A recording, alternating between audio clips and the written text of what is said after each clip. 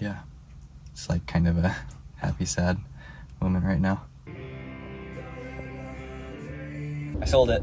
It's gone. I am uh, kind of bummed, to be honest, but it's one of those things that you might be sad about, but that you know needs to happen.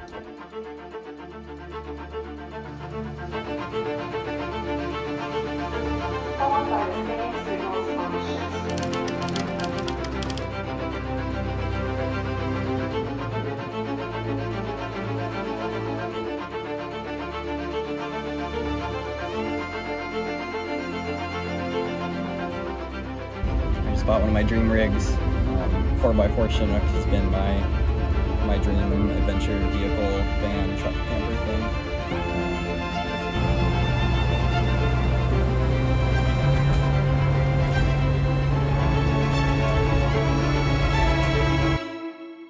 This is my new project slash slightly rickety cabin on wheels.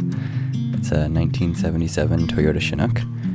And if you don't know what that is, it's basically like a Westfalia but built on a Toyota pickup. So it's got the 20R motor, I believe. It's got a newer 5 speed transmission.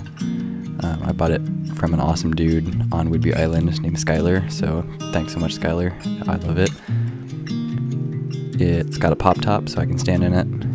And I'm going to be doing kind of a temporary build out over the next week or so while I decide if I want to swap it onto a newer pickup that has 4x4 or if I want to just leave it how it is.